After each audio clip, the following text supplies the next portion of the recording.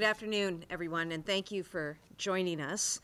I'm glad to be joined today by our Health and Human Services Secretary, Kate Walsh, and our Department of Public Health Commissioner, Robbie Goldstein. I also want to thank our partners in the legislature, including Speaker Mariano and Senate President Spilka. I also want to thank our friends in labor, particularly the Mass Nurses Association and SEIU 1199. And thank you to the Mass Hospital Association, the League, and Healthcare for All, who worked closely with us to develop a strategy that makes sense for each region. Today, I am happy to announce that Massachusetts is taking steps to save and keep operating the five remaining Steward hospitals in Massachusetts. And in doing so, we are protecting access to care in those communities and preserving jobs, jobs of thousands of hardworking women and men who work at these hospitals. And let me just say at the outset, none of us wanted to be here in the first place. This is not something that Massachusetts created. It was something that was created by the greed and the exploitation of an individual, Ralph De and members of his team. De actions brought us to nearly the brink of collapse here in Massachusetts at all seven of the Steward hospitals. From the outset, we have worked hard as a team to confront the reality of the situation and to work as best as we could and as quickly as we could to save hospitals, to save jobs, and preserve access to care for our residents. From the outset, the goal has been of Kate Walsh, of Robbie Goldstein, our entire team, has been to save as many hospitals as possible after De La Torre and Steward bankrupted them. I am so grateful to Kate Walsh for her experience, her leadership, her compassion, particularly in this time. And I am so grateful that she accepted my call well over a year ago to become Secretary of Health and Human Services, not knowing or expecting that something like this could happen. But there was no better person, not just for my administration, but for this state, to have at the helm during this challenging time than Secretary Walsh. And I thank you for that. I also thank Commissioner Goldstein, who we're very, very fortunate to have leading DPH. Dr. Goldstein leads with compassion, he leads with sensibility. He has been working incredibly hard over the last several months. His teams have been on the ground at Steward hospitals, monitoring care, working to ensure access to care, the protection of patients, and the protection of communities. And he has listened and will continue to listen, along with his team and our administration, to the concerns of communities affected by Steward's actions. But to bring us back to this moment, here's what I am very, very pleased to be able to announce. We now have reached agreements by which three highly qualified healthcare leaders will be purchasing and taking over the operations of four of these hospitals. Boston Medical Center will purchase Good Samaritan in Brockton. Lifespan will purchase Morton Hospital in Taunton and St. Anne's Hospital in Fall River. And Lawrence General Hospital will purchase both hospital campuses of Holy Family in Haverhill and Methuen. We are grateful for their partnership and their commitment to not only maintaining the quality of care, but to improving the quality of care in these communities. And I am personally so grateful that these entities are now taking over as acquirers of these hospitals. We're also grateful to the legislature, to all the members of the legislature, but particularly those representing districts whose residents have been affected by this news. We have worked with the legislative leadership to develop what we believe is a fiscally responsible financing plan to make sure we are able to finalize these deals. Which brings me to St. Elizabeth's. St. Elizabeth's also received a highly qualified bid from an excellent hospital operator. Unfortunately, after endless go rounds back and forth in negotiations, the landlord has refused to move. So, as governor, I am taking action today to seize control of St. Elizabeth's through an eminent domain proceeding that will facilitate the transition of St. Elizabeth's to a responsible new owner, namely Boston Medical Center. This will make sure that the hospital continues to stay open and operating in that community. And it means that with today's news and the work that has been done, we have preserved and will keep open and operating five of the seven Steward hospitals that went bankrupt. I also want to say something about Carney and Nashoba because the news today is good, is good, but not for everyone. And as governor, I understand that. The community, patients, workers in Carney Hospital and Nashoba Valley Medical Center are rightly upset about these closures. And I want them to know that I am too. I am really upset about what Steward did, which was to run them to the point that after an exhaustive process, unlike the other hospitals, there was no hospital operator willing to come forward with a bid to continue operations of those facilities. That's why those hospitals are set to close. It's because of Steward and because what Steward did in running them to the ground. So it's an incredibly upsetting reality. Um, know that our administration will continue to work with those communities to do the best we can in bringing an, uh, the urgency to safely transitioning care and supporting our workers. And it's why our administration has committed $30 million to keep these hospitals operating and offering care for an additional time. I want to thank our Labor and Workforce Development Secretary, Lauren Jones, and her team. They continue to be on site at both Carney and Nashoba, providing services and connecting workers to jobs. We've met with 450 workers already, and we want to ensure that every worker finds a job, and our administration won't stop until that happens. And we will continue to be in dialogue with those affected at Carney and at Nashoba. But today is a very important day, and I wasn't sure we were ever going to see this day happen. From where we began many, many months ago, with Steward pulling the rug out from all of us in Massachusetts, um, I wasn't sure that we were going to be able to get here. I knew it was really important that we do everything that we could to get here, to find a way to save hospitals, to find a way to save jobs, to protect patients' access to care, to protect the stability of what is a fragile healthcare market here and around the country.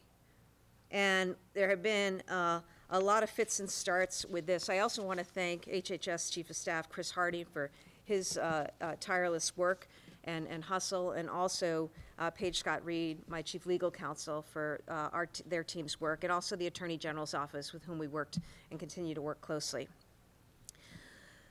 So today, uh, I'm pleased to say we're closing the book on Steward once and for all in Massachusetts. Good riddance and goodbye.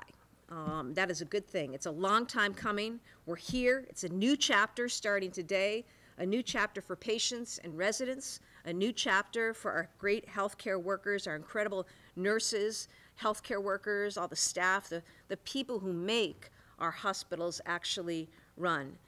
And uh, I believe as well, it is not just a new chapter, but it is a better chapter in terms of what it is going to do for patient care. And we want the very best for residents across Massachusetts. And so I'm grateful to the team uh, for working so hard to, to make this happen and know that we're going to continue to do everything we can on our team, out of our administration, to stand by patients, our communities, and our incredible healthcare workers. With that, um, we're happy to take any questions on topic.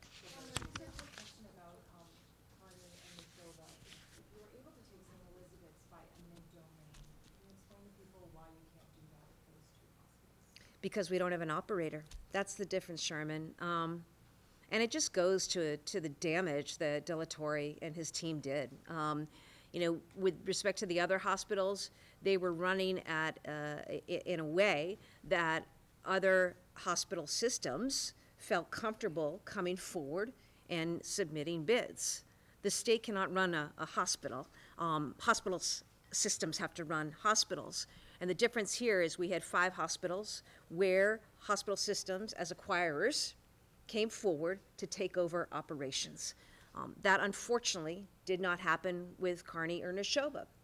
If one were to miraculously appear, that would be another thing.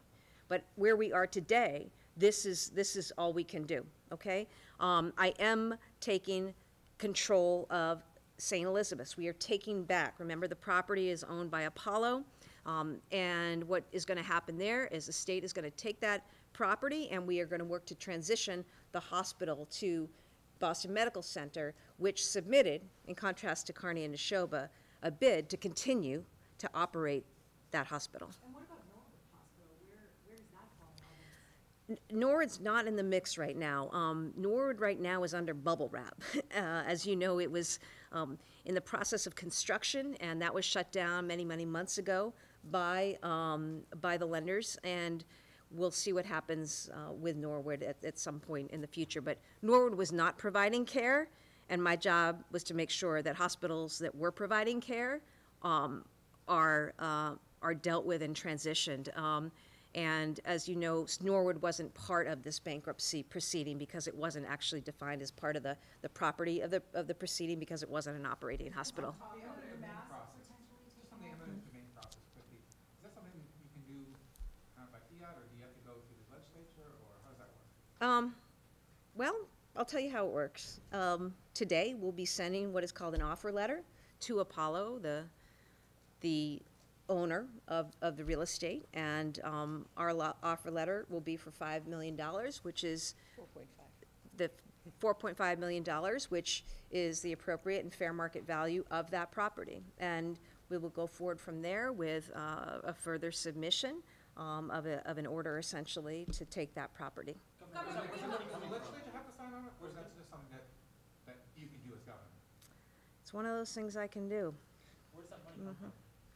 Where's that money come from? Taxpayer dollars, are you using some other sort of fund, what is it? Yeah, we, we're working that out right now with A and F. Governor, what is the exact mm-hmm. financing plan for all the hospitals? Your press release talks about cash advances, capital support, maximizing federal dollars. Can you talk about what exactly that is and how much that is in addition to the thirty million? Yep, you got it. Do you want to say anything more, Yeah, you- Secretary? I- You said it perfectly. Those are the three sources, and we're working with the acquirers to um, make sure that they have the funds available so that they can meet their bids, um, and also begin, the, the work for them starts now. And they're, they're going to be taking over these hospitals, they're going to be staffing them up, stocking them up, and making capital investments to make sure that they're safe and that will take funds that we're working with them to make sure they have. And we're working, we've worked with ANF and with our colleagues in the legislature to identify those sources of funds. And those funds will, will, will continue over the next three years as this transition. What is that funding amount and does that need to be approved by the legislature? We, the legislature has approved the part of it that they have in the governor's budget, which is the hospital assessment. The other pieces were, are, are advances, as you said, which the legislature does not need to approve. And there's one remaining piece that we're gonna continue to talk So about. there's not advances in addition to the thirty million? that's been agreed? There are advances against the clinical care that will be offered in those, in those facilities so that they have working capital to run the hospitals. Governor, there's been a lot of questions about qualified bids and what that actually means about Nashoba and Carney. Is there anything the state can do? I know you're saying that these were run in a way that made them unqualified, people didn't want to get involved, but is there anything the state can do that can help those hospitals become, um, more eligible for a bid? In, in the bankruptcy process, the creditors qualify the bids, not the state. So we don't have a say in what's a qualified bid. This is not our determination, that's the bankruptcy court's determination. So what was wrong with these two hospitals that made them not hospitals that anyone would want to run? It's Chronic underinvestment is how I would describe it. Do a couple more. Why are you announcing this before you have a bid, before you have signed the bids?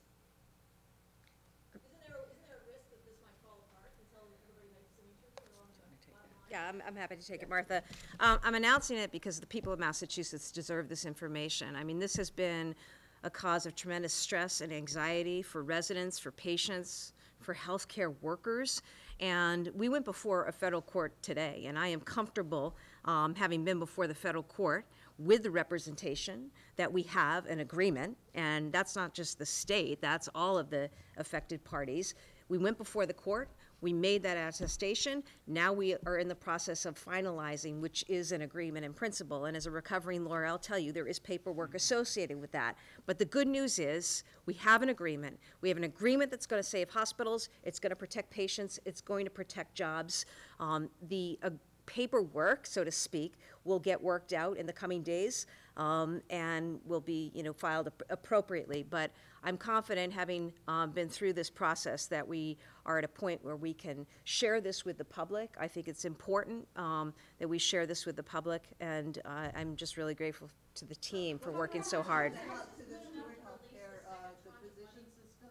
What's I'll come back to you on that. physicians, uh, the Steward, uh, Healthcare Physicians, uh, Association? Are the doctors all gonna go to the new hospitals? Do you want to speak to that? Do you want Yeah. to take that, Robbie? We hope, we hope so, is the short Yeah. answer. Yeah, But um, yeah. so as you know, separately, there was a, a deal for Stewardship Health, which has a lot of the physicians, but what we're hearing, not all, but many of the primary care physicians, um, many of those physicians are staying in their practices, uh, at Carney and Nashoba, they're staying as well. I think that's important to put out there, that while the hospital may be closing, the medical office building remains open, and those physicians are providing care. There are also specialty physicians that are gonna remain affiliated with the Carney and Nashoba Medical Office Building, as well as all of the other hospitals across the system. So we are working with the, those that are coming in to take on the operations to make sure that they have what they need, and that includes making sure they have physicians to provide the care. How about medical, not just the, um, patients, can they feel confident, they, I mean, this is transition that's going on, obviously, it hasn't been finalized yet. Can people feel confident to go to these hospitals and get the care that they need? Absolutely. We've been in these hospitals since uh, really February, actually, the end of January. We've been there daily, monitoring the quality of care, the access to supplies, the staffing that are in each of the hospitals. We'll remain in the hospitals through the transition for as long as we need to be there to make sure that we can guarantee for every person in Massachusetts, you can walk in to St. Elizabeth's and get high-quality care. Can you share if UMass has expressed any interest in enrolling? I'm sorry, what? Has UMass expressed any interest at all in enrolling? Not that I know of. Last question. Yep. Is there a timeline to get these deals finalized and when Steward would be fully out of the state? Uh, not soon enough, but um, e- effectively, they're, they're out of the state with what we're announcing today. I mean, you know, um, the, the paperwork is gonna be done in terms of uh, finalizing the agreements with the new acquirers. Um, That could be days, it could be a few weeks, Um, but know that, you know, everybody is working just as quickly as they can to get those agreements in place. As you can imagine, it's pretty complicated um, to, to uh, prepare these agreements, all of what's included. Um, But I, I'm confident, you know, the teams are working as quickly as possible to get that done. Um, And was there someone else? That was it? Okay. Yep, Any yep. other kind of sanctions and that? So, sorry, of what? criminal or any kind of sanctions? eligible to financing plan, do we know how much this is all going to cost the state, said and done? Yeah, we're, we're still working through some of that, but you'll see, it. as I say, the, the, the fin- the financing agreement, the agreements uh, will be finalized very soon. Yeah. What's up? It wasn't, it wasn't, it wasn't 19 million, and it's there, because it needs to meet, meet the payroll. Yeah, tranche two went, tran- tran- there's tranche two A and tranche two B, and tranche two A went out. And so the, pe- we could meet today's payroll. Yep, You said that the authority, I want to say it's eight. Don't any quote me. kind of sanction going forward, any kind of criminal sanction or any kind of sanction?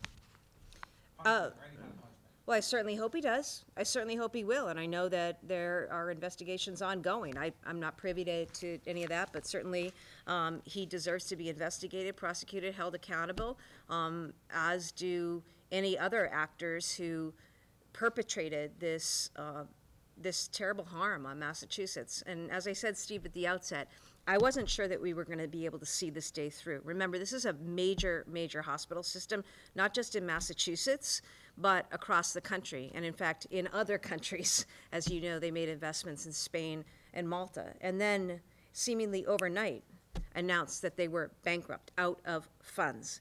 Um, Massachusetts, you know, that involved eight hospitals. That's a, that was a big deal. And I wasn't sure how we were going to be able to see a way through this. I certainly knew that we had the right team in place, um, and there's been uh, a, a heck of a lot of work to get to this point. And so I just uh, am, am really pleased. I think it's a win for Massachusetts. It's a win for Massachusetts because we got rid of a really bad operator, a really bad operator. But what we have left are incredible doctors and nurses and staff who've worked and given their blood, sweat, and tears at these steward hospitals because they want to provide care. We have those human assets. They're going to continue to work. And they're going to be working with and for quality hospital operators who understand the way you provide quality care to residents and communities. So not only is this a good thing, um, one I was not sure we'd ever get here, this is a win for Massachusetts, you know, as we've come out the other side. And we've got more work to do with finalizing some agreements, um, but, uh, but that'll happen uh, in, in short order. And uh, I appreciate again, um, and make no mistake about it, I, I carry with me every day the, the, the concerns, the heartache um, expressed by residents about, you know, where are they going to get care? Also, um, the, the, the angst and the stress of a healthcare workforce that has already gone through a heck of a lot with COVID. And we're going to be an administration um, who continues to support our healthcare workforce, looks to work in partnership with our healthcare workforce, and certainly with our hospitals, um, who, um, you know, are, are among the best in the world um, at, at doing what they need to do. So um, that's, uh, that's the news on today. Karissa's available if there are any more sort of specifics um, that folks need answers to, okay? Thank you very much. St. Elizabeth Thank you. transferred over. Thank you very much. Talk to, they'll give you the details on that, okay? You plan to sign the internal, internal health bill?